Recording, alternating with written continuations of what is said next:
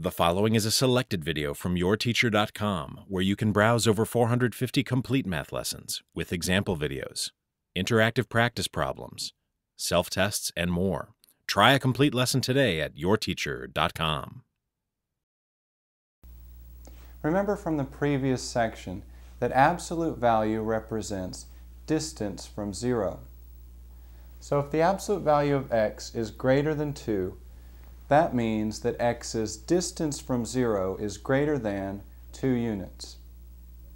On a number line, the points that are greater than 2 units from 0 would be all points greater than 2 or all points less than negative 2. So if we're given this absolute value inequality, we can split things up into two separate inequalities.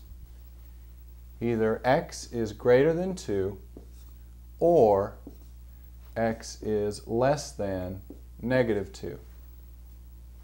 Our first inequality will look just like the original problem, minus the absolute value signs. In our second inequality, we must switch the direction of the inequality sign and make the right side negative. The word that goes between our two inequalities is based on the direction of the inequality sign in the original problem. Since we have a greater than sign in the original problem, we use the word or. So our final answer can be written, the set of all x's such that x is greater than 2 or x is less than negative 2.